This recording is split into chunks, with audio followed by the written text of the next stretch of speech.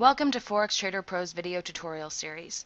Today we will be going over the general navigation of the platform.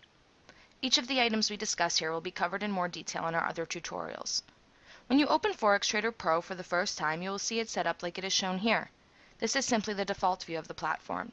You are able to customize it to your liking by moving any of the tabs or modules to new locations.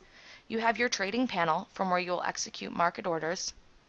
Below this you have four rate grids current rates, popular markets, a watch list that you will use to find the products you would like to follow most closely, and market indices. Next, you will see a series of trader tools including current trade ideas, emerging patterns, and technical analysis.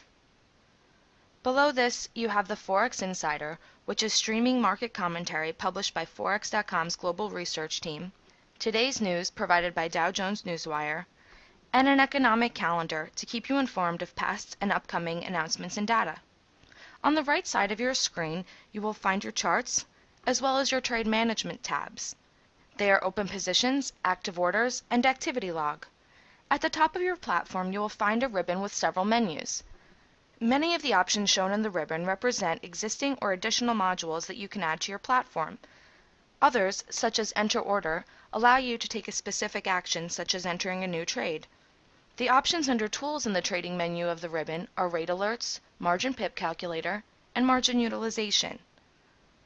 The Customize section allows you to edit your trading preferences as you can see here.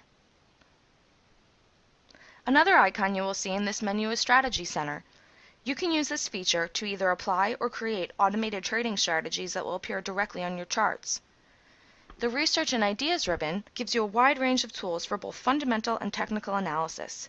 Here you will find options for additional tools to dock in your platform that are not provided by default. For example, completed chart patterns. Live clients will have access to even more technical analysis, including technical indicators and Japanese candlesticks. There is a wide variety of market analysis in this menu, and I recommend trying out each one to determine which are most applicable to your trading strategy. The next menu of the ribbon that you will see is Charting. This is where you will go to add chart tabs and change the preferences for your charts and technical indicators. After Charts is Account. From here, you're able to view your reports, change your password, update your contact information, request a margin change, make a deposit or request a withdrawal, link multiple live accounts, or delink multiple live accounts. One of the core features of Forex Trader Pro is the flexibility it gives you to customize virtually all features including layout, charting, and trading preferences. As you will see in our customization tutorial, most customization can be done without selecting the Customize menu, but we have grouped various levels of customization here so you can see your options. The Trading and Charting section can also be found in the Trading and Charting menus of the ribbon. The Platform section is unique to the Customization menu. The last menu you will see is Help.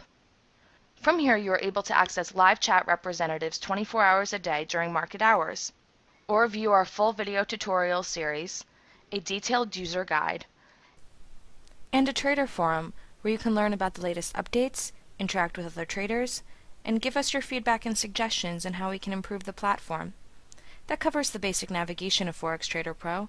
Thank you for joining us today. If you have any questions, please click on the live chat link in the Help menu to speak with a live representative.